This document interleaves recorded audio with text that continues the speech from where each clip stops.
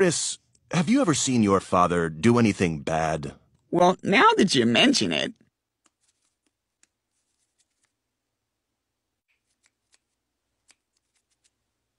Hey, Meg. Proud of you.